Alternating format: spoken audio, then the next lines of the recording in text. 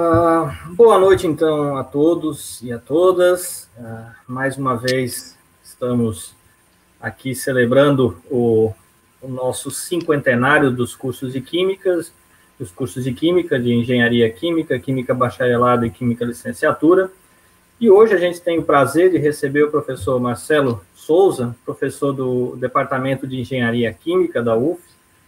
professor Marcelo, que é meu xará, ele tem graduação em engenharia química pela Universidade Federal do Rio Grande do Norte, onde fez o mestrado, o doutorado também na Federal do Rio Grande do Norte, passando pelo, pelo mestrado na UFRJ, todos em engenharia química. Né? Uh, ele é professor, se não me engano, desde 2005 na UFS e hoje já é professor associado 4 do Departamento de, de Engenharia Química. Além de ensino, né, nós temos o, o professor Marcelo como um, um grande pilar na, na, na pesquisa da, da, UFES, e ele trabalhando principalmente na área de catálise e petroquímica. E é sobre isso que ele vai dividir uh, um pouco do conhecimento dele com a gente hoje. Então, agradeço, professor Marcelo, uh, por ter aceito o nosso convite, por estar aqui hoje, uh, celebrando junto conosco né, fazendo parte da história da química. E, e é isso. Ah, passo a palavra para você, vou colocar a sua apresentação. E muito obrigado. É, ok, é, muito obrigado, professor Marcelo, pela apresentação. É, realmente, né, é uma grande honra, né, estar aqui nesse momento, né, do cinquentenário dos cursos, né, então é, é muito gratificante, né, a gente ter sido convidado, né, para esse evento. Então, a, a, a ideia dessa, dessa, dessa palestra, né, é falar um pouco, né, sobre é, a pesquisa em desenvolvimento de caracterização e aplicação de catalisadores, né, que é a nossa área de pesquisa. Então, a gente vai é, falar um pouco sobre é, é, o que o grupo de pesquisa tem feito, né, nesse sentido, né, e, e os trabalhos que os alunos têm desenvolvido, né, então é mais é, uma palestra é, motivacional para até atrair novos alunos, né, para essa, essa área de pesquisa tão importante, né, então, é... aqui a gente está colocando um breve histórico, né? Em relação ao nosso grupo de pesquisas, né? Então, é... o grupo de pesquisas em catálise petroquímica da UFS, ele se iniciou em 2005. Então, a gente criou esse grupo de pesquisa, né? No âmbito institucional da COPS, né? Então, é, o grupo ele tem desenvolvido, né? As linhas de pesquisa focadas na síntese e caracterização de materiais micro e mesoporosos, que podem ser zeólitos, períodos moleculares, e as aplicações desses materiais como adsorventes e catalisadores. Então, é, desde a sua criação, o grupo de pesquisa tem focado nas suas aplicações nessas áreas de conhecimento, né?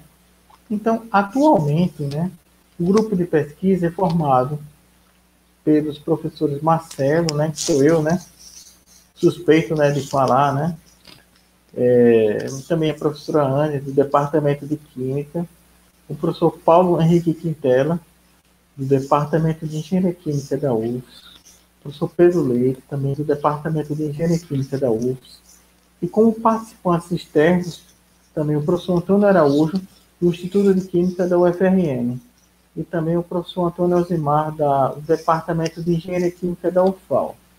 Então, na realidade, né, a, a concepção desse grupo de pesquisa, ele foi motivado muito pela formação acadêmica né, dos professores e pela essa pluralidade né, que pode ocorrer. Né? Então, é, a gente tem professores da química, da engenharia química, então, é, são, e, e da nossa instituição, de outras instituições. Então, foi uma coisa que a gente, é, do ano de 2005, né, há 15 anos atrás, quando a gente concebeu o grupo, a gente já tinha essa ideia, né, de agregar, né, pessoas, né, da área né, para que elas pudessem, né, trabalhar as suas mais diferentes é, formas, né.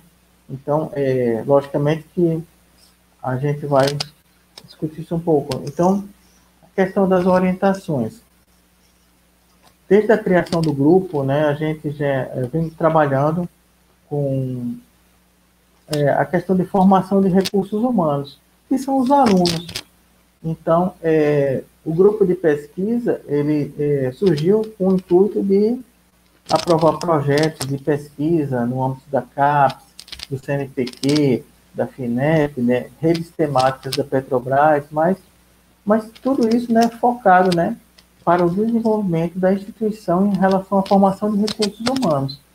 E produto desses projetos que a gente é, tem trabalhado, trabalha né, e trabalhará né, futuramente, a gente tem é, formado alguns alunos. Né? Então, até hoje, né, temos como essa contribuição é, é, aproximadamente né, 40 trabalhos de conclusão de curso de graduação, é, 30 trabalhos de iniciação científica, 20 dissertações de mestrado e 5 teses de doutorado.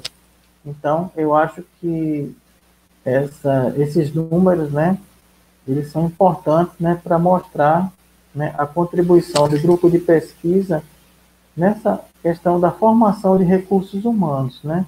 Mas eu acho que isso é uma coisa que ainda, a gente ainda está desenvolvendo e que no futuro esses números vão se ampliar mais, né? É, principalmente, né, porque as nossas linhas de pesquisa estão se ampliando também, né? E novas linhas de pesquisa vão entrando, outras vão sendo extintas, mas isso é uma questão característica de cada é, grupo de pesquisa, né? Uma coisa importante também de se ressaltar é, são os congressos na área, né? Os congressos, eles têm, um, têm tido um papel importante né, nessa, nessa questão da formação dos recursos humanos, dos alunos, porque os congressos são uma forma dos alunos mostrarem, né, para a comunidade científica, para a comunidade acadêmica, os seus trabalhos.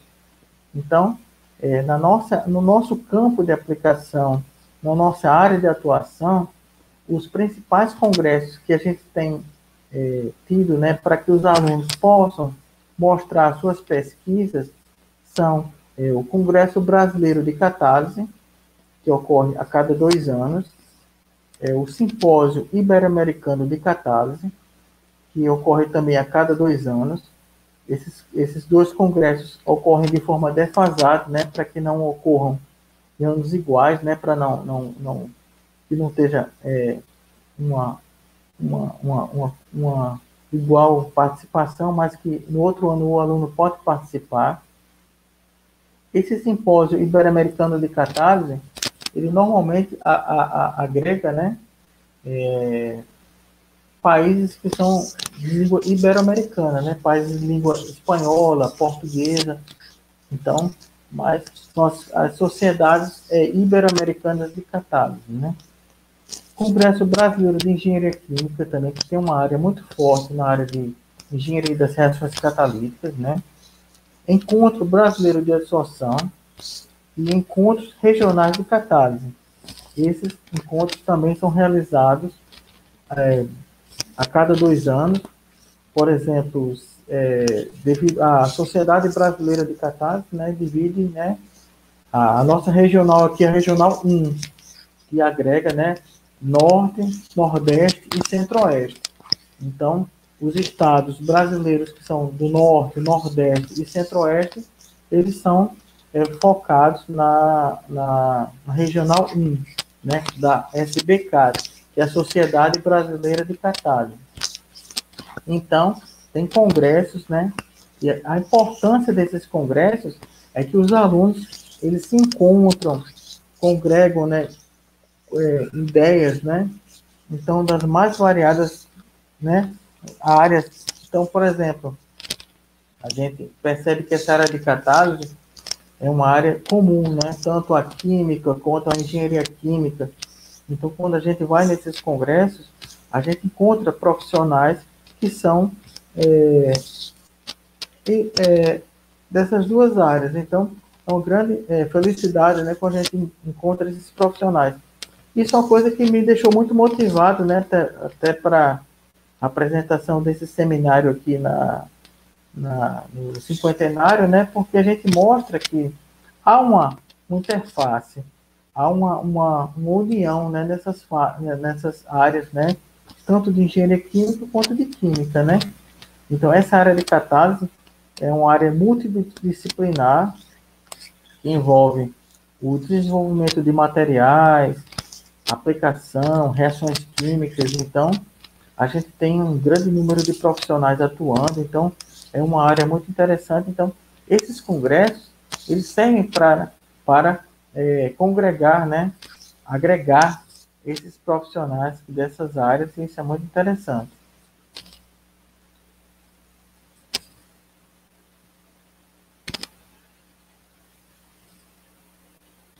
Bom, é, agora, é, nesse aspecto, é, nessa área de catálise, nós temos algumas sociedades né, que são importantes né, para a promoção desses eventos. Né? Acho que a mais importante é a SBCAT, que é a Sociedade Brasileira de Catálise. Então, para é, os discentes que estiverem interessados né, em ingressar nessa área, né? Então, tem a Sociedade Brasileira de Catálise, tem a, recém-criada Sociedade Brasileira de Absorção, a FISOCAT, que é a Federação Ibero-Americana de Catálise, que é uma federação ibero-americana, né, constituída pelos países ibero-americanos, né, para as sociedades de catálise, International Zeolite Association, então, é, e outras por exemplo, a, a, nos Estados Unidos, né, Norte American Catálise Society, né, então, então, a área de catálise, ela é uma área muito importante é, em termos econômicos para as sociedades, né, para, os países, né, e a, agrega várias sociedades científicas que são é, que são dispostas nesse sentido, né? Então, aqui eu coloquei apenas algumas sociedades, né? A SBCAT, né, que é a nossa sociedade brasileira de catálise. Então, é algo que muito nos orgulha, né, porque ela propicia, né, congressos científicos, e esses congressos, né, é, são importantes para que os alunos tenham uma interação, né, então, isso, isso é muito importante, né? Essa área, já que ah, o tema da nossa, nossa, da nossa live, né, seria é, a pesquisa, né? Então, não, não, não teria como falar um pouco, né, dessa questão da, dos congressos, né, das sociedades científicas, que são pertinentes, particulares a essa área né, de atuação. Bom, a pesquisa na área de catálise. Então, catálise. Catálise, é, a gente observa, né, muitos periódicos falando de catálise, né? Então, mas o que seria catálise, né? Seria uma área, uma ciência, uma área de estudo, né, que estuda a utilização de catalisadores e de processos catalíticos na produção de bens de consumo para a sociedade. Então, a catálise, ela vem como uma forma de você prover para a sociedade bens de consumo duráveis ou não duráveis, mas provenientes de um processo catalítico. E nesse aspecto, a gente teria a utilização de um agente necessariamente da catálise, que seria o catalisador. Então, o que seria o catalisador? O catalisador seria uma substância que altera a velocidade das reações químicas sem ser consumido apreciavelmente. Atua na diminuição da energia de ativação do processo e na seletividade dos produtos de alto valor agregado. Então, se a gente imaginar a atuação do catalisador, para que serve um catalisador? Para promover a ocorrência de um determinado processo químico com menor gasto energético, com maior velocidade e propiciando a seletividade a um produto de alto valor agregado. Então, por exemplo, se a gente colocar diferentes tipos de catalisadores para um determinado tipo de matéria-prima, a gente vai ter diferentes produtos formados. Mas um desses produtos vai ser o produto de alto valor agregado. Então, a conversão química seletiva dessa matéria-prima vai ser mais apreciável quando você tiver um catalisador apropriado para fazer a conversão dessa matéria-prima em um bem de consumo é, de alto valor agregado. Logicamente que, pelas definições clássicas, ele também vai é, diminuir essa energia de ativação e atuar também na questão da velocidade da reação. Isso aqui seria um gráfico clássico em que a gente mostra né, uma reação, um diagrama de energia em função da coordenada de reação. Essa linha vermelha está mostrando uma reação sem catalisador. E essa, essa linha verde, uma reação com catalisador. Então, a gente, a gente observa que o papel do catalisador é diminuir a energia de ativação dessa reação, por propiciar um caminho catalítico alternativo, um mecanismo de reação alternativo àquele mecanismo de reação que seria utilizado sem a utilização dele. E o catalisador ele não altera o estado inicial nem o estado final da reação, a termodinâmica da reação. Então, por exemplo, se a gente tiver uma reação equilibrada, a gente vai ter um cálculos termodinâmicos é, específicos que vão determinar, o, a, o, um, por exemplo, a, a, a, conversão de uma reação em função da temperatura e da pressão. Mas o catalisador ele não vai modificar isso. Ele apenas vai fazer com que esse estado alcance-se mais rapidamente, com menor gasto de energia e com seletividade, com uma, uma direcionamento a um produto de alto valor agregado. Então, o catalisador ele não trabalha em termos termodinâmicos, mas em termos cinéticos. Nesse sentido, os estados iniciais e finais permanecem iguais, ou seja, aquelas composições que a termodinâmica previu, mas ele vai trabalhando nos estados intermediários, aumentando a velocidade dessa reação, promovendo um caminho catalítico, um mecanismo diferenciado para a ocorrência dessa reação, com menor gasto de energia, com menor energia de ativação e com preferencialmente com a formação de produtos de alto valor agregado, com alta seletividade a produtos de alto valor agregado, com aumento da velocidade dessa reação. Esse é o papel do catalisador. Agora, existem diversos tipos de catalisadores. Então, de diversos tipos de catálise. Então, Tipicamente, é, a gente observa né, a catálise homogênea, a catálise enzimática e a catálise heterogênea. A, catálise homogênea, é, o catalisador e os reagentes estão na mesma fase. Então, a gente pode ter sistemas líquido-líquido, gás-gás, gás-líquido. A característica é que se tiver uma substância lá que estiver promovendo um, um agente, como, como um agente catalítico, e se a gente não observar outro tipo de fase, então seria uma catálise homogênea. No caso da catálise enzimática, o catalisador é composto por macromoléculas orgânicas, que normalmente são enzimas, dispersas a nível molecular no meio reacional. Então, podem ser sistemas líquido-líquido ou sólido-líquido. Na catálise enzimática, a gente pode observar tanto um caráter homogêneo quanto heterogêneo. Isso vai depender muito do sistema lá.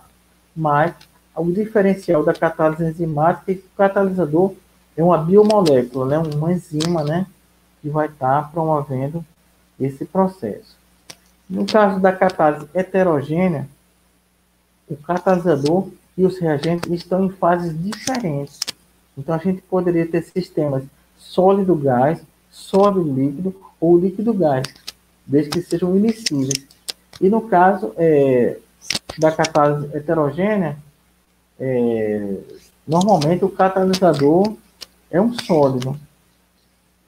Então, é, na, é, essa, essa questão da catálise heterogênea é o tipo de catálise que a gente trabalha aqui no grupo de pesquisa, né?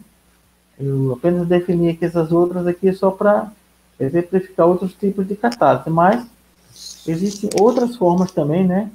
Fotocatálise, eletrocatálise.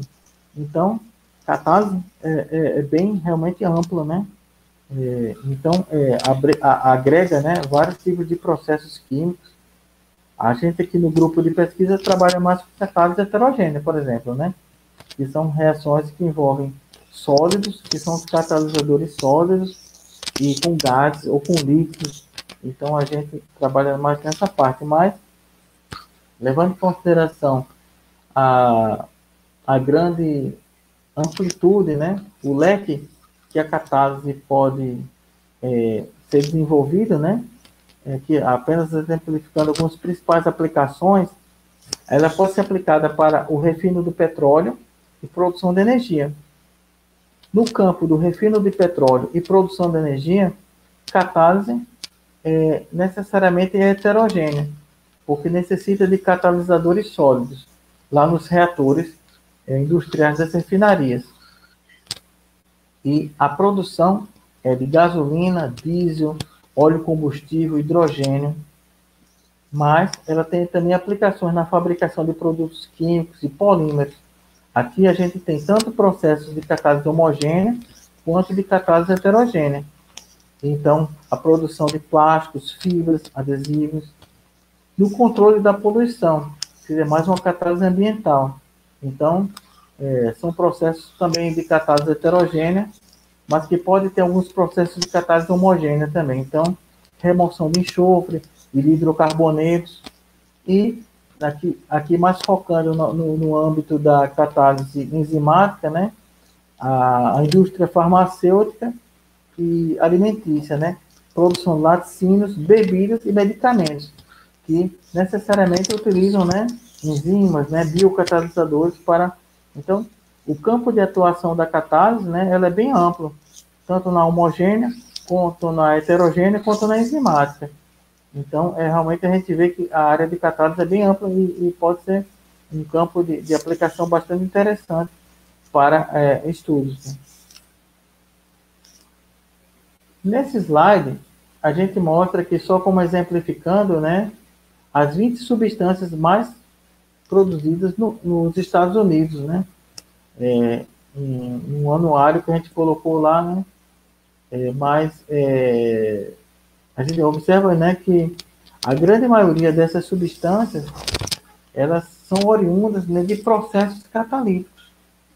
Então, é, a produção de substâncias químicas, ácido sulfúrico, eteno, propeno, são, são oriundas de processos que demandam algum tipo de catalisador para que eles sejam produzidos da importância da catálise na, na, na produção de substâncias químicas. Então, é, é, aqui, a questão dos Estados Unidos, né? Mas a gente espera que isso aqui, esses produtos sejam, é, também aqui no Brasil, sejam bem de forma muito similar. Aqui colocando um pouco né, sobre o desenvolvimento de processos catalíticos. Então, no, nesse campo, é, ele envolve a síntese de catalisadores, catalisadores com potencial aplicabilidade para determinados processos químicos, então, catalisadores mais ativos, mais seletivos para determinados tipos de reações químicas, a caracterização desses catalisadores, essa caracterização visa determinar as propriedades físico-químicas, texturais estruturais desses catalisadores, né? É importante conhecer a estrutura, a natureza desses catalisadores, aspectos cinéticos, termodinâmicos, dos fenômenos de transporte. Então, é, a cinética química, a termodinâmica e também os elementos é, inerentes a, aos fenômenos de transporte também são muito importantes nesse contexto. e o projeto de reatores, né? Que leva em consideração não só o projeto químico, né? Ou seja, as equações básicas de projeto dos reatores que levam em consideração a massa de catalisador, o volume de reator necessário para uma determinada performance, mas também o projeto físico, né? Ou seja, os materiais de construção, a, o, a, o, os termos econômicos né, inerentes à construção desses reatores. Então, é, hoje, né, é, é, no contexto das refinarias, os reatores já estão bem consolidados, né? Então, poucas é, modificações geométricas são perceptíveis é, nesse momento, mas modificações no catalisador, nas suas propriedades, na sua forma de atuar na reação química, é de grande interesse para as indústrias, porque, uma vez isso sendo feito, isso pode maximizar uma produção de uma determinada matéria-prima, né? Então, é, uma reação química, né? Num determinado tipo de, de reator industrial. Então, é, eu acho que essa questão do projeto de reatores é importante, mas essa questão do desenvolvimento de catalisadores para a atuação dos reatores é muito importante também, porque são os catalisadores que vão ser o coração desses reatores que vão atuar, estar atuando nas indústrias químicas, petroquímicas. Então, nesse sentido. Então, é, como a gente tinha falado, né, os catalisadores eles podem ser enzimas, que são biocatalisadores, catalisadores homogêneos, podem ser ácidos, bases inorgânicos, compostos organometálicos, né, por exemplo, catalisador é, para síntese de, é, de polímeros, né, Ziegler-Natta, e heterogêneos. No nosso grupo de pesquisa, a gente trabalha muito pouco, é, mais com essa questão dos catalisadores heterogêneos. Então, seriam os catalisadores mágicos, os suportados em peneiras moleculares. Os catalisadores mágicos seriam aqueles que, é, na sua essência, eles, a 100% da massa deles é o próprio catalisador. Eles têm algumas vantagens por apresentar essa característica, né? Mas eles têm grandes desvantagens também. Os suportados são catalisadores que é, você tem suportes inertes, onde você dispensa essa fase ativa do, de, do catalisador máximo sobre ela, né? Aumentando assim a área de contatos, maximizando a área, a área reacional disponível para reação química. Então, a reação química de superfície, ela vai levar em consideração toda uma etapa de fenômenos de transporte, né, que é uma, uma difusão desses reagentes de uma fase líquida ou gasosa global, né, passando por resistências difusionais até chegar nessa partícula catalítica. E uma vez chegando nessa partícula catalítica, ela vai sofrer uma dissorção que, e quebra a formação de novas ligações químicas e dessorção na formação de produtos.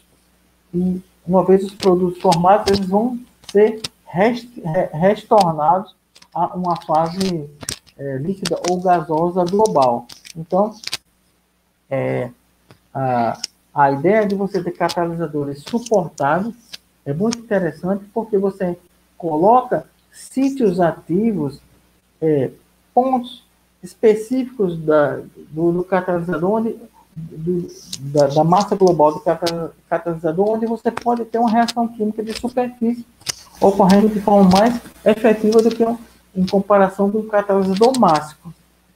Já as peneiras moleculares, que a gente trabalha aqui, né? Então, são, é uma outra classe de, de, de catalisadores muito interessantes. E a gente trabalha muito com as peneiras moleculares, por quê?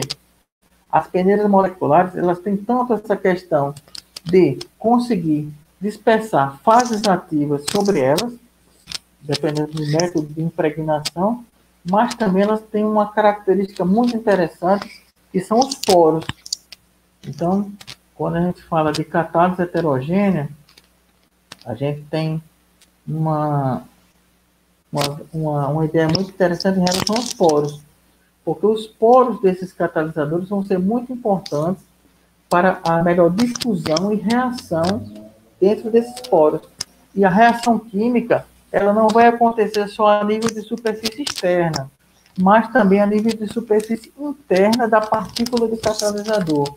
Então, quando você tem catalisadores porosos, com poros apropriados para um determinado tipo, um diâmetro cinético de molécula que vai se difundir dentro desses poros, a questão de peneiras moleculares é muito importante porque ela já provém uma característica difusional apropriada para cada tipo de reagente que vem para a formação de um determinado produto de valor agregado.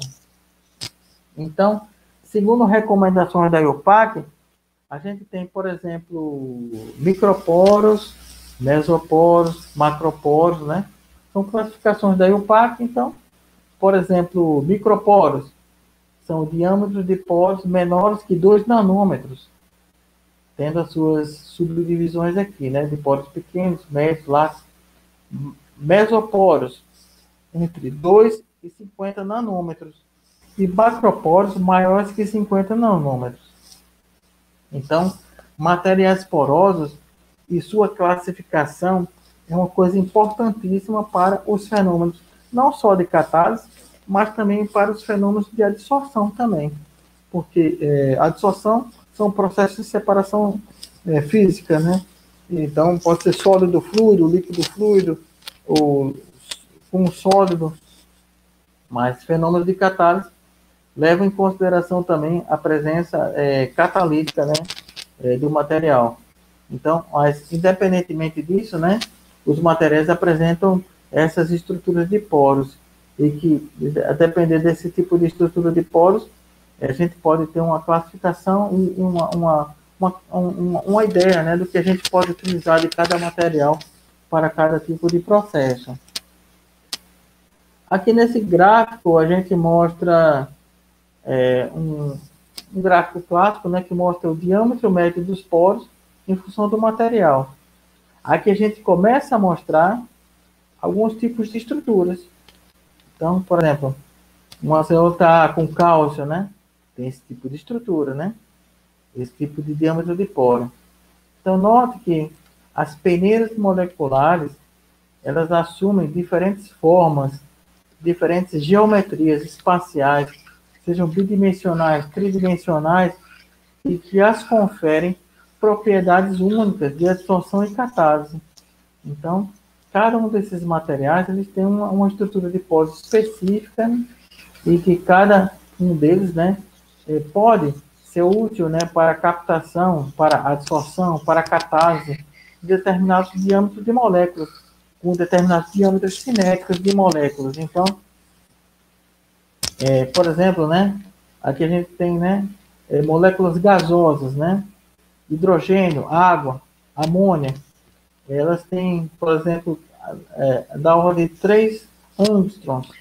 Então, essas eólicas aqui, solalita, né, ela, ela consegue realmente capturar esses materiais. Mas mordenita, chabazita, elas já têm poros maiores. Então, talvez possam ser utilizados para outros tipos de, de aplicações. Daqui a pouco a gente vai falar um pouco sobre as aplicações das eólicas, sejam naturais ou sintéticas, mas é só exemplificando que a acessibilidade aos poros é algo que é muito importante, né, para a, tanto processos de catálise quanto também para processos de adsorção. Então, não adianta uma molécula ser muito grande, ela não vai entrar naquele poro. Então, ela precisa ter um diâmetro cinético para ser capturada, né? Com relação às peneiras moleculares, é, a gente poderia citar zeólitas. Zeólitas são alumínio silicatos cristalinos, mas tem outros tipos de peneiras moleculares alumínio fosfatos, silicoalumínios fosfatos e derivados. Materiais mesoporosos. Então, isso aqui eu estou só colocando aqui como um exemplo, né? Mas tem muitos tipos de peneiras moleculares, né? Então, toda zeólita é uma peneira molecular, mas nem toda peneira molecular é uma zeólita, porque a zeólita ela tem tem na sua composição alumínio e silício. Então, tem peneiras moleculares, por exemplo, que são formadas por alumínio e fósforo, né? Então, não são zeosas, mas são peneiras moleculares. Esse termo peneira molecular é porque ela tem poros que conseguem restringir a passagem de moléculas né, a nível molecular mesmo. É como se fosse uma peneira a nível molecular. Aí você pode ter de tipo zeólitas, de tipo alpos, mesoporosos. Aí depende muito da, da composição também. É, em relação às estruturas, é, hoje, né, é, do que se tem relatado, temos mais de 200 tipos de estruturas, né, relativas a essas peneiras moleculares. Então, é, são códigos, né, de três letras, né, por exemplo, FAL, significa FAL jazita, né, ela pode ter ocorrência natural ou sintética, é, zeolitas naturais ou sintéticas, né, então, é, por exemplo, é, podemos ter zeolitas naturais, que são encontradas na, na, natureza. Então, são minerais, tem jazidas dessas zeólitas. A grande vantagem é que você pode encontrá-las em grande abundância, mas a desvantagem é que elas são impuras, ou seja, elas têm muitos minerais lá, um, um grande número de contaminantes, que implica numa pouca aplicabilidade desses materiais em processos industriais. Já as eólicas sintéticas, elas, elas fazem uma substituição das eólicas naturais, ou seja, você consegue em laboratório é, fazer eólicas com a mesma estrutura das naturais, porém com alto grau de pureza. Isso em detrimento de utilizar reagentes de alta pureza. Então, é, para os, as reações químicas, é, é, muito importante né, você ter uma alta seletividade é, aos produtos de, de, valor agregado. Então, essas eólicas sintéticas, elas acabam tendo esse papel né, de dar uma melhor performance a esses processos catalíticos. Então, mas em contrapartida, elas têm uma, uma característica de realmente né, serem mais caras, né, em função é, da, da questão dos precursores, né, dos reagentes, que são caros. Uma alternativa seria é, tentar mapear né, é, recursos naturais, né, é, aqui no estado de Sergipe, outros estados, né, que tenham fontes naturais, mas de baixo custo né, para a produção de zeólitos. Né. Então a gente observa que, por exemplo, no Rio de Janeiro, né, a gente tem a, a fábrica carioca de catalisadores, que produz toneladas de catalisadores para o refino é, químico de petróleo no Brasil. Então, aí eles utilizam, né, é, fontes, né, é, dessa natureza. Só que, é, exemplificando, né, essa questão das eólitas, mas de forma muito simples mesmo, né, elas são alumínio silicatos cristalinos. Então, são formados por tetraedros de SO4 e AlO4- que se unem através de átomos de oxigênio. Quando eles fazem essa conformação, ficam a carga negativa e precisam de cátions de compensação para neutralizar a estrutura. Aí, elementos alcalinos ou alcalinos terrosos podem ser utilizados para isso. Por exemplo, cálcio, é, sódio, potássio, cálcio, magnésio, então podem ser utilizados como cátions de compensação. E aí, é, formam-se esses poliedros aqui, né? É, e que, ampliando essa estrutura aqui, você forma é, toda uma estrutura de zeólitas. Na realidade, é, a gente teria uma, um elemento chamado direcionador orgânico, uma molécula orgânica, um template, uma molde, uma forma, e que é sobre essa forma a, a orgânica, todo um esqueleto inorgânico de, de sílica alumina se cristaliza. Então, ele serve como uma espécie de molde, né? Então, essas espécies de sílica e alumina vão se cristalizando ali sobre esse, esse molde, né? e formando essas estruturas.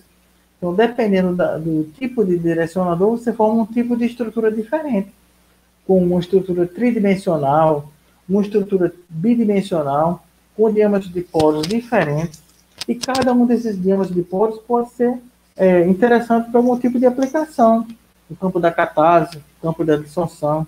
Então, é, é uma característica das eólicas, né, ter essa, essa flexibilidade de, de produção. Aqui só colocando, né, é, como a gente tinha falado, né, das associações, a International Zeolite Association, né, ela coloca é, essa base de dados que coloca dados de estrutura, a parte de catase, síntese, materiais é, correlatos, né, zeólitas naturais.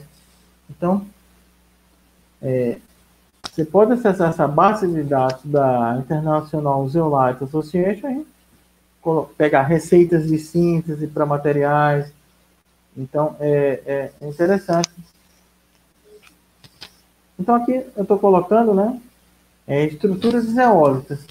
Então, é, com base na, na base de dados da International Zeolite Association, é, Existem mais de 200 tipos de eólicas. Cada uma dessas eólicas, elas têm possibilidades é, de síntese diferentes. Ou seja, você pode ter rotas diferentes, é, rotas pós-síntese. Então, há uma grande flexibilidade, né, de você trabalhar com esses materiais. Existem muitos artigos, existem muitas patentes que são é, inerentes a esses materiais. Então, isso dá uma flexibilidade muito grande né, de pesquisa nesse sentido. Né? E as aplicações são muito, múltiplas. Né? Então, no caso aqui, eu, eu, eu sublinhei né, alguns tipos de zeólitas que a gente tipicamente trabalha aqui no grupo de pesquisa. Né? A ferrerita, né? a MTW, né, que é a ZSM12, a MFI, que é a ZSM5, e a FAL, que é a FAL Jazita, né, que é a zeólita Y. Né? Mas imaginem essa, essa multiplicidade de estruturas, né? E as possibilidades de aplicações que elas podem ter. Então, a gente vê que é uma, um campo de aplicação que passaríamos mil anos, né? Estudando, né? E não conseguiríamos, né? Vencer toda essa, essa, essa, essa grande, né? Área de, de, de produção, né? De conhecimento né, nesse campo de aplicação. Mas eu acho que é muito importante né, a gente focar né, nas eólicas mais que tem uma melhor performance, que tiveram né, aplicações industriais e que tiveram é, um bom sucesso, mas com possibilidades né, de é, trabalhar com outras estruturas que podem ser também muito interessantes né, para e aí é, são campos de absorção, de catálise, e aí cada grupo de pesquisa vai também delinear seu, seu range de aplicação, né? Aqui eu estou colocando apenas é, algumas, alguns exemplos, né?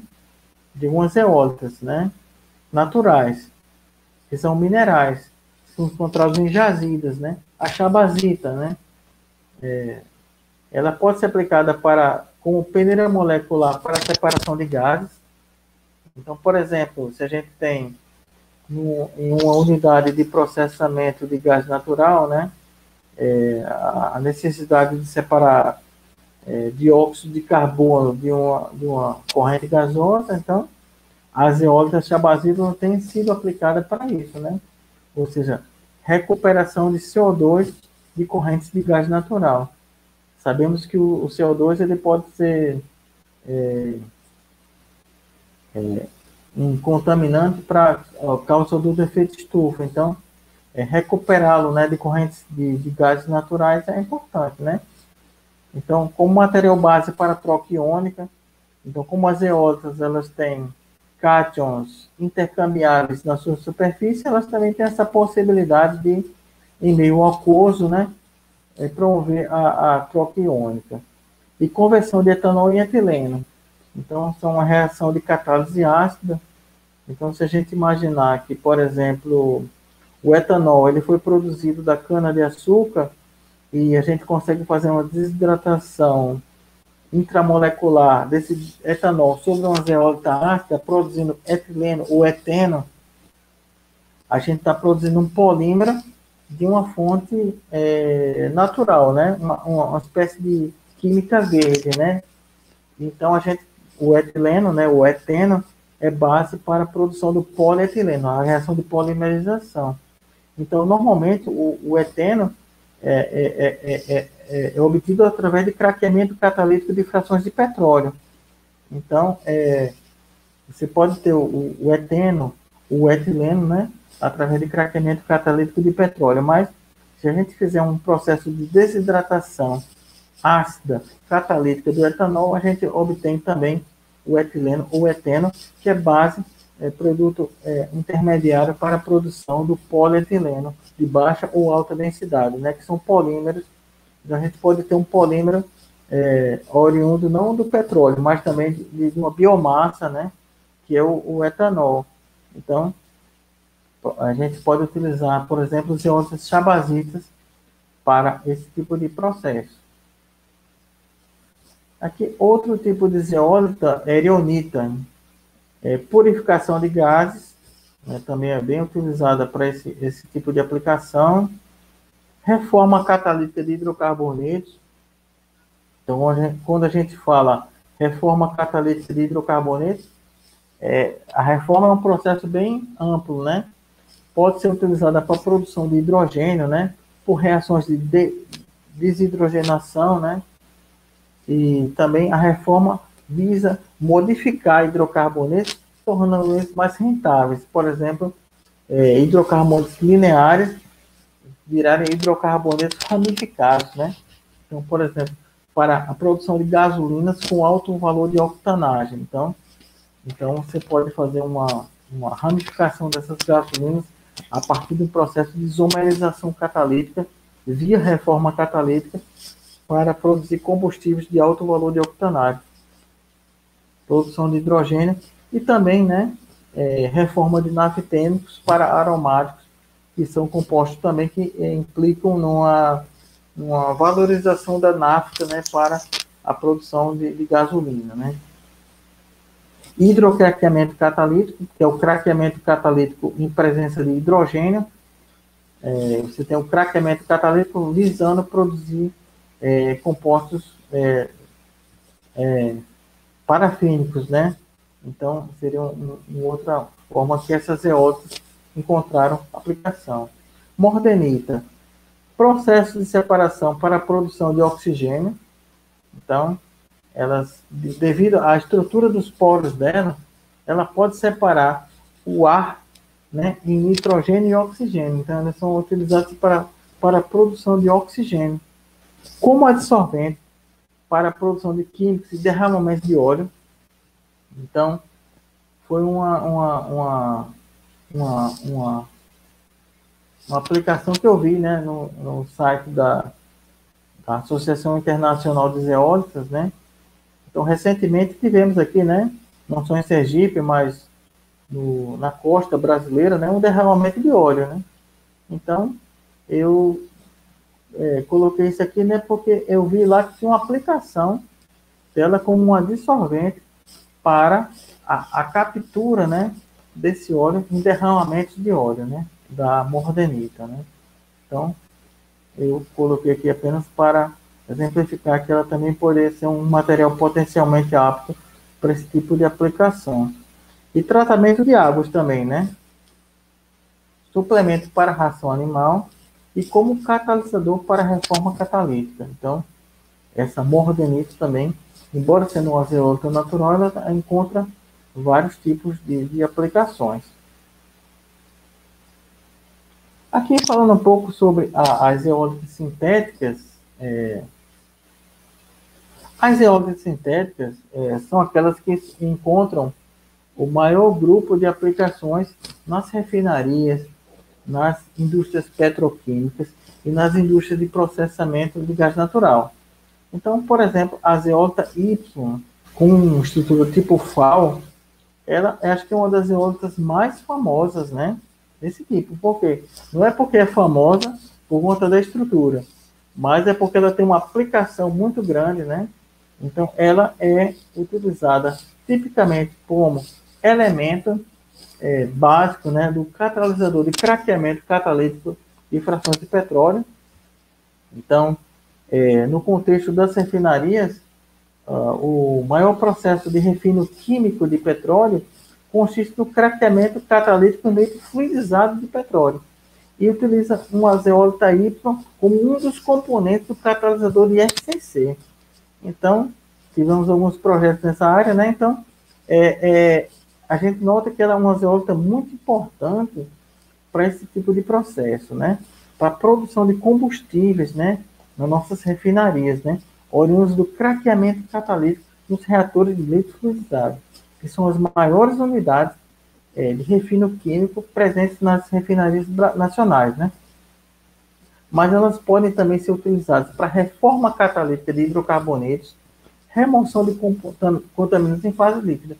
Aí já são outros estudos, outras pesquisas, né, que foram feitas, né, que conseguiram, né, é, é, encontrar aplicações, é, pessoal, para esse, esse tipo de material. Mas eu acho que realmente a, a, a grande aplicabilidade para a zeólita Y, né, sempre vai ser mesmo a, o craqueamento catalítico de petróleo, né? Então, é, é o que é marcante nela mesmo e é algo que é muito fundamental para o Brasil, né? Essa, essa questão, né? É, do, da produção de combustíveis, né? Existem outras eólicas. A maior parte dessas eólicas, elas foram sintetizadas e patenteadas pela Mobil, né? Que é uma empresa norte-americana? Mobil Oil Corporation, mas é por isso que se chama MFI, né? é Mobile 5, né? Então, é ZCM5. Ela pode ser aplicada para reações de isomerização catalítica, reações de alquilação catalítica, traqueamento catalítico. Então, se a gente imaginar o número de reações químicas que existem no âmbito das refinarias, elas estão utilizando esses tipos de materiais ou conjunções desses materiais nos seus processos as SM12, né? É um parente da, das SM5, né? Que é Mobile 12, MTW, né? Então, ela é captura de CO2, reações de isomerização catalítica, craqueamento catalítico. Então, acho que eu coloquei aqui alguns tipos de zeólitas naturais ou sintéticas, mas foi mais no âmbito de a gente verificar a aplicabilidade delas para processos de interesse econômico, né, no âmbito do, dos, dos, países, né, das, das refinarias. Das... Então, é, essas eólicas SM12, elas já têm sido aplicadas muito para nesse contexto. Agora, é, em termos de pesquisa, né, a gente retomando um pouco do, do da, da, ideia da, do seminário aqui, né, que seria a pesquisa em desenvolvimento, caracterização e aplicação de catalisadores, né? A gente vê que essa pesquisa, né, ela parte de uma pesquisa bibliográfica, e parte de, de patentes, né? Pode ser US patentes, patentes americanas, do INPI, etc., né? Então, patentes pode ser obtidas em diversos países. Então, é muito importante a gente ver, né, qual o grau de inovação que a gente teve nesses materiais para que justifique uma patente. Às vezes, é um pequeno, uma pequena modificação, isso já justifica. Então, é, muito importante consultar né, essas patentes internacionais para ver se aquilo que você fez já está no nível de aceitável né, de publicar uma nova patente. Né? A, a, a pesquisa em artigos científicos Aí são periódicos especializados. Então, a literatura, ela fornece, né, o, através do Web of Science, o periódico SCAPS, então, uma grande faixa de artigos científicos que a gente pode pesquisar e ver, né, mas, realmente, se a gente quiser realmente é, patentear um produto novo, né, a gente tem que pesquisar também sites de patentes, né, livros também que são específicos, né, dessas áreas, então, é, hoje é muito difícil a gente fazer modificações num processo industrial já bem consolidado. Então, é muito importante essa pesquisa fundamental, essa pesquisa básica, que é feita nos laboratórios de pesquisa, nas universidades. Por quê? Porque ela fomenta né, ideias para que a gente possa fazer pequenas inovações em processos já bem consolidados. Dificilmente a gente vai alcançar grandes avanços assim, mas é, a gente pode ver pequenos aspectos que não foram abordados. E a gente pode verificar pontos e gerar patentes específicas nesses pequenos, essas pequenas brechas né, que existem, né?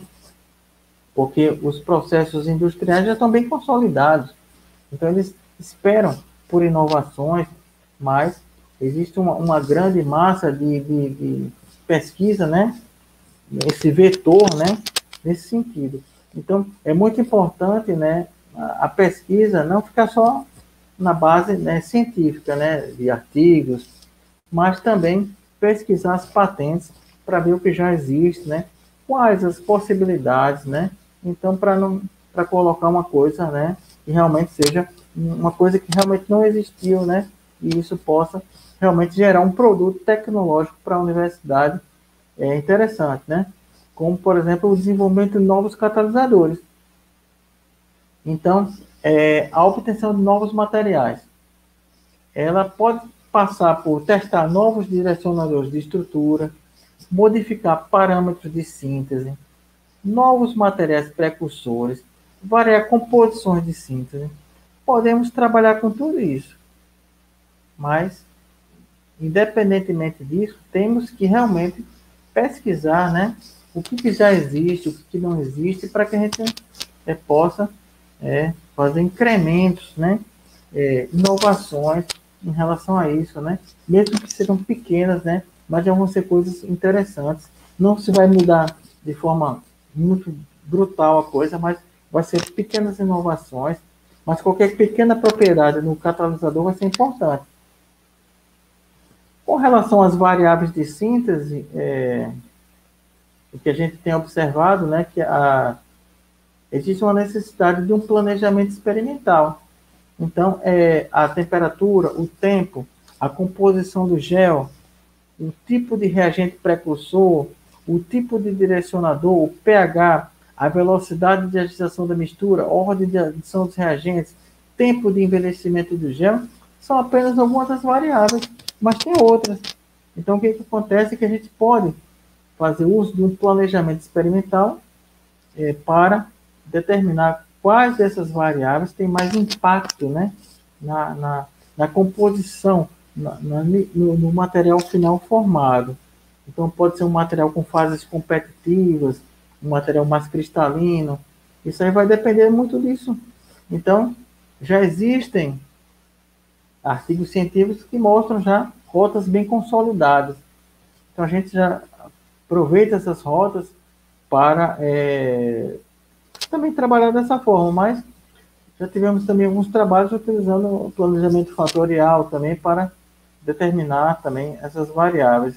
E a soma desses trabalhos, né, com planejamento fatorial e outros já consolidados, dão uma espécie de vetor, né, para que a gente possa, né, estabelecer rotas de síntese, né, estratégias, trabalhos para os alunos que serão interessantes para é, não só ser trabalhos repetitivos, né? mas também inovações em relação àquilo que já existe. Com relação à questão do, dos materiais precursores, é, é, a gente teria a questão do direcionador orgânico, né?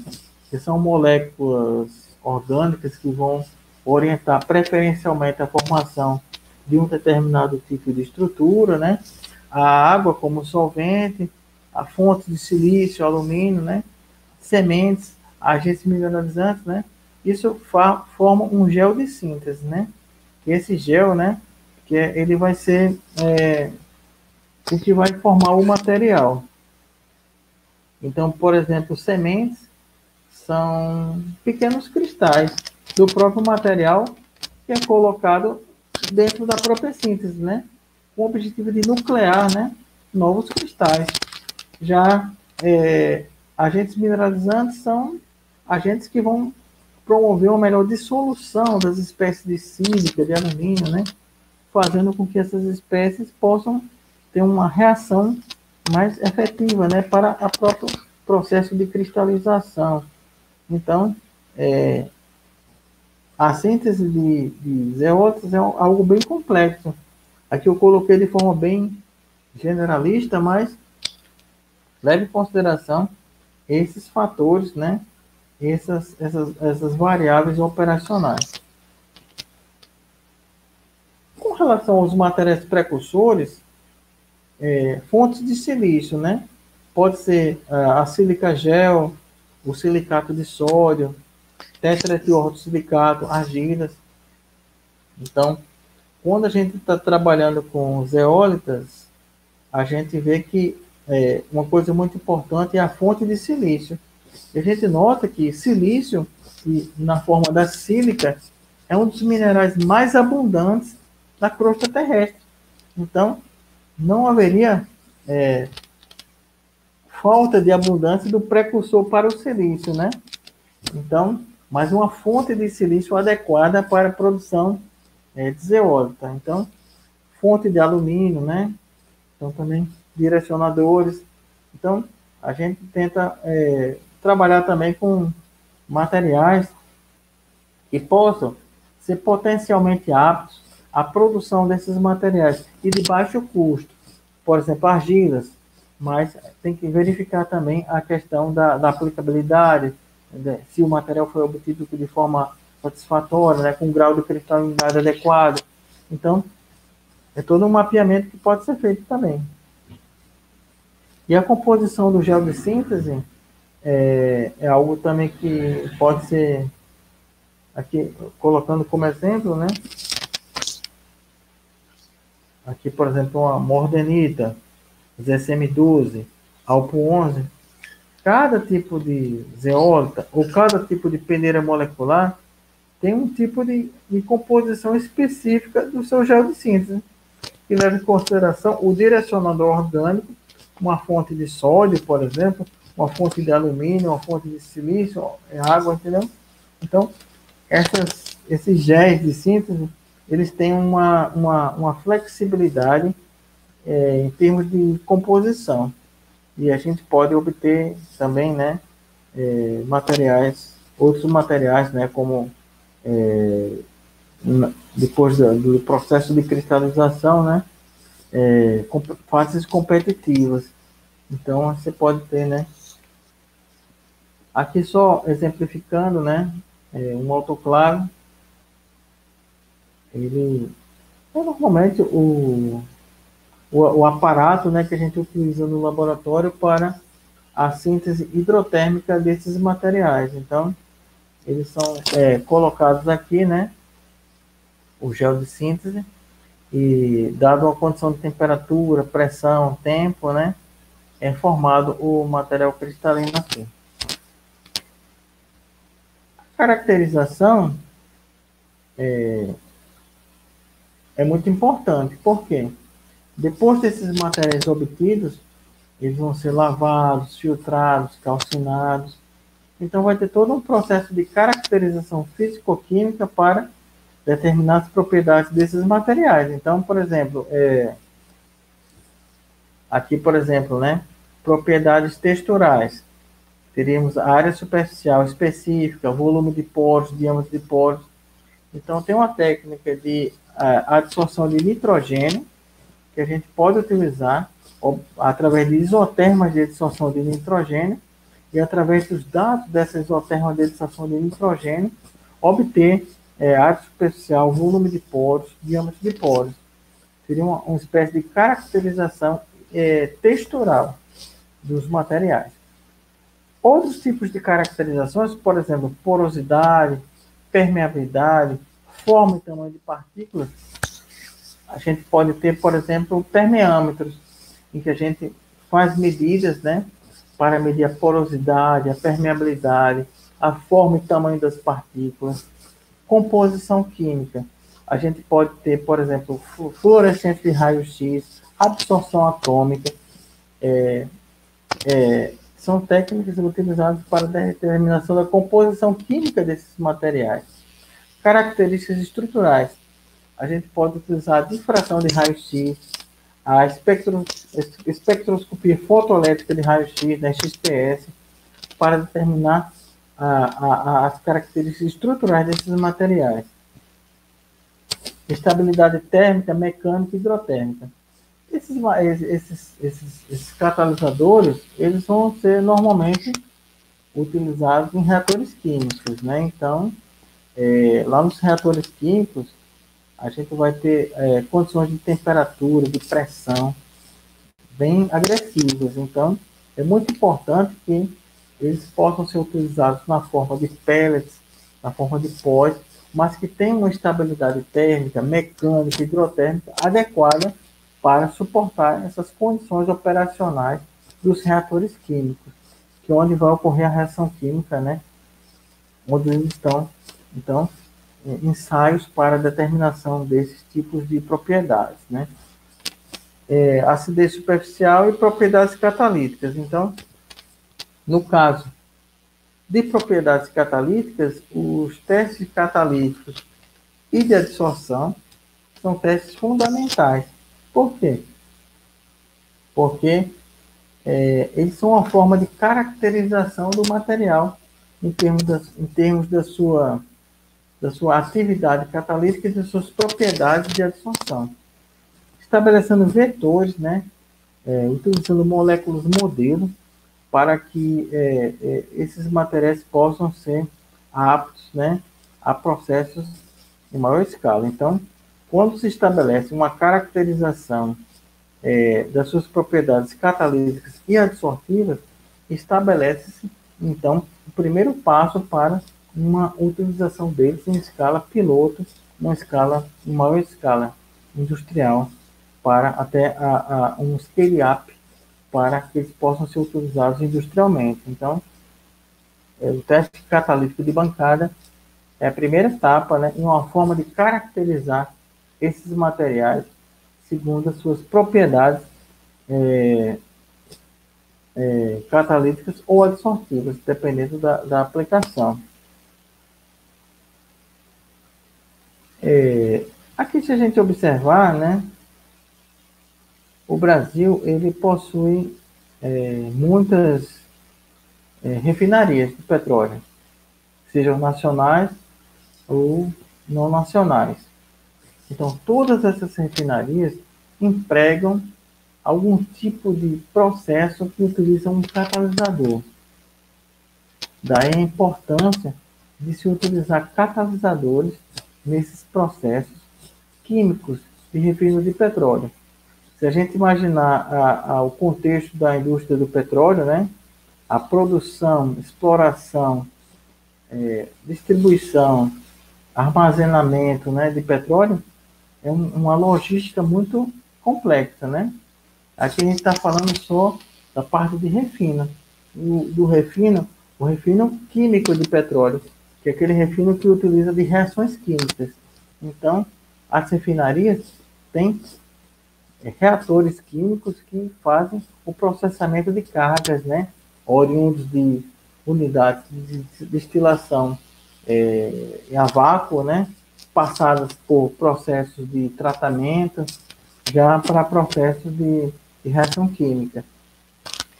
Mas não só o refino químico também, né? Se gente observar é, a gente tem também as petroquímicas e as unidades de processamento de gás natural.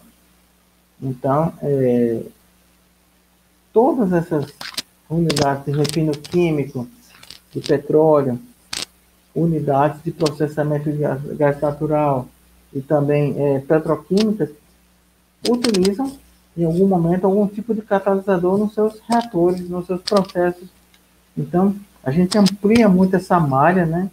A partir do momento que a gente visualiza, né? Aqui só a nível de Brasil, né? Essa necessidade. Então, como eu tinha falado que a, a fábrica carioca de catalisadores, ela produz toneladas é, de catalisadores para prover, né? Essas unidades industriais, né? Nos seus mais diferentes tipos de processos é, e aplicações para refino e processamento de petróleo e também para a indústria química. Então, aqui no contexto de uma refinaria, a gente observa que é, esse esquema simplificado, a gente tem unidades de polimerização, alquilação, craqueamento catalítico, hidrotratamento. Então, são unidades que estão presentes aí na, na, na, no contexto da refinaria que utilizam algum tipo de catalisador. Daí a importância, né, é, desenvolvimento, né, de catalisadores para esses processos. E esses processos estão se modificando a cada ano em função da composição das cargas, que também vai se modificando a cada ano. Então, é, o desenvolvimento de novos catalisadores, de não do processo, porque ele já está bem consolidado na refinaria, mas novos catalisadores para esses refinos é, é de importância estratégica, né? Então, é, a gente observa aqui né, alquilações. Então, aqui tem processo de refino físico, né? Mas os químicos também compõem um grande grupo de processos e, e, e de alguma forma tem algum tipo de catalisador, né? Então, é muito importante, né, no contexto das refinarias, é, esse desenvolvimento de novos produtos e processos para o refino de petróleo. É, aqui a gente está colocando apenas para contextualização, né? É, como a gente falou no início, né? Do grupo de pesquisa, alguns dos trabalhos que a gente vem desenvolvendo, né? aqui alguns destaques, né? Mas tem outros trabalhos, né? Então, nesse trabalho aqui a gente está é, a absorção de, de CO2, né? Umas eólicas SM12 com MCM48. É um material micromesoporoso, né? Então, que a gente impregnou a mina com diferentes é, com, é, proporções. E a gente avaliou isso aqui na, na absorção do dióxido de carbono foi o trabalho de uma aluna é, de doutorado, né, do curso de, de materiais.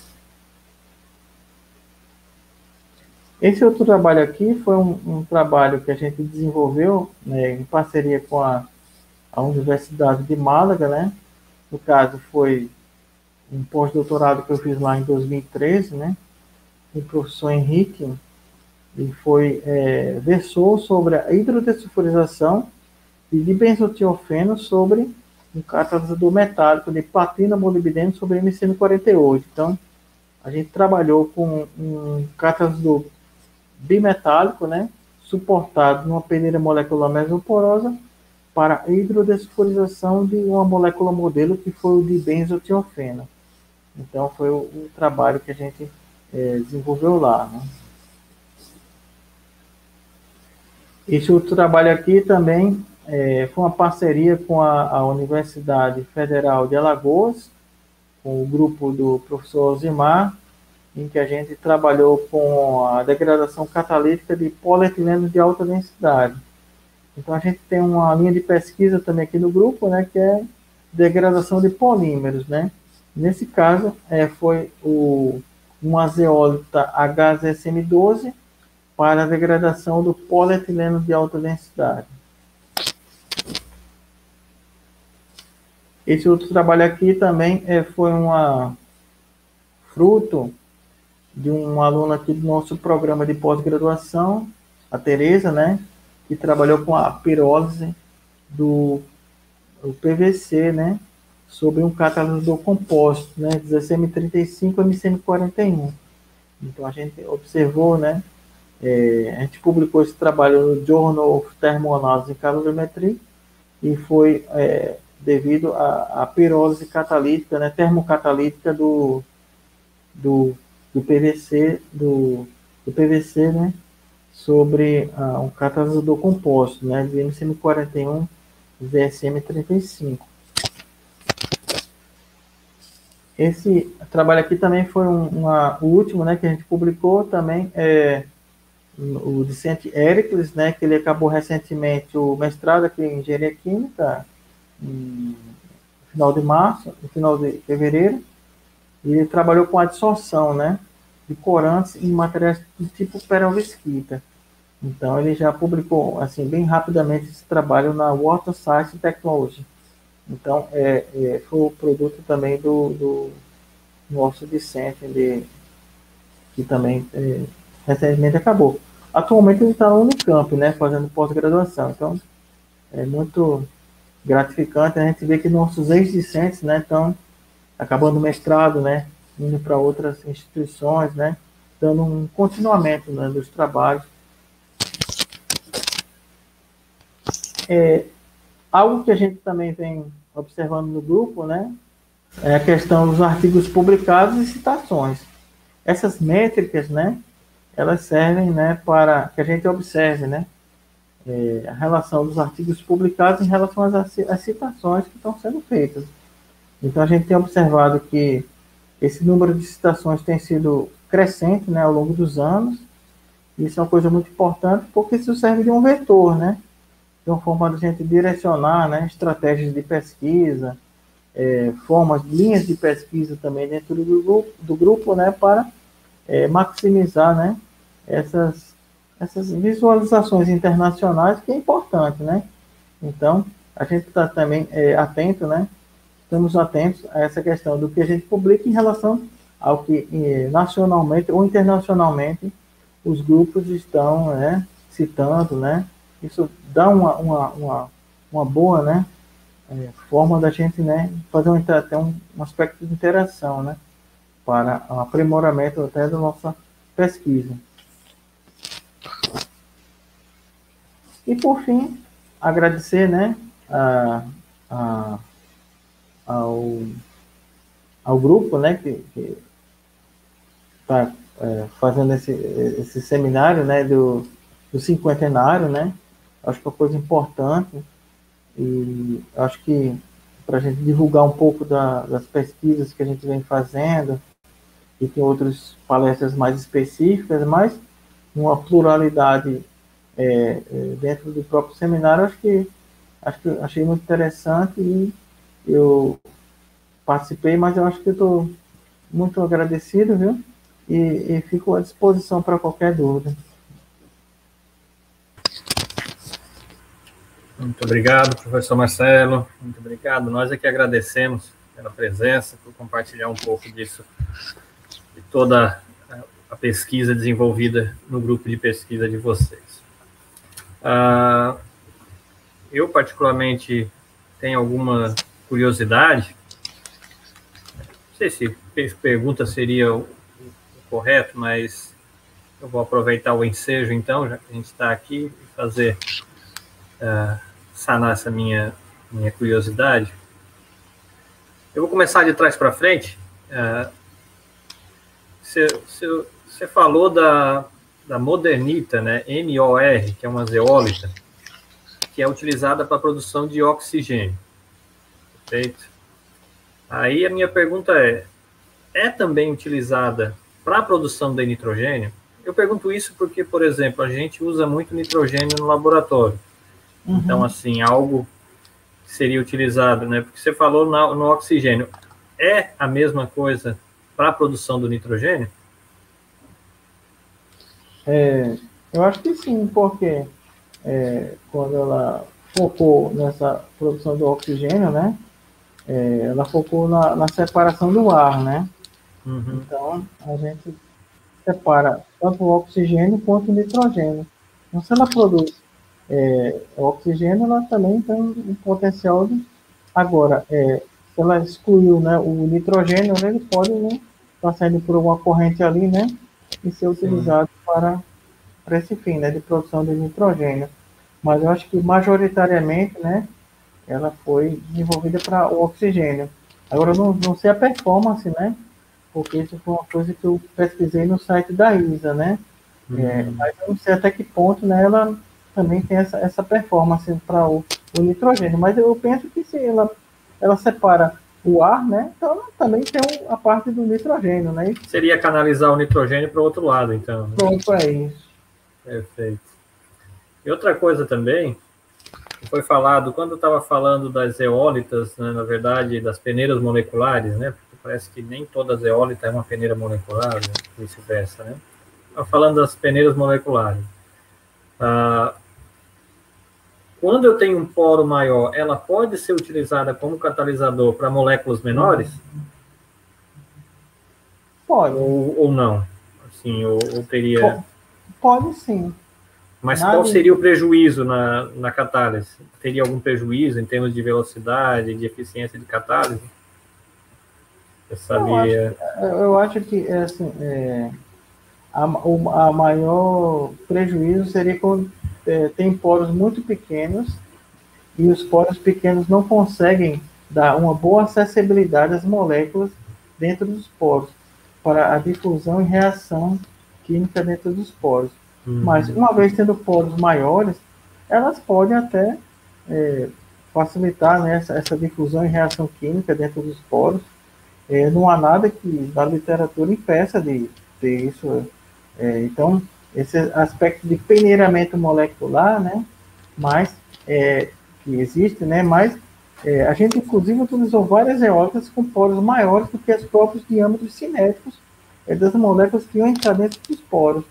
Mas entendendo que esses poros iriam ter uma área superficial interna, né, que iria capacitar uma maior atividade catalítica. Então, Sim. eu acho que não há nada que impeça realmente isso aí.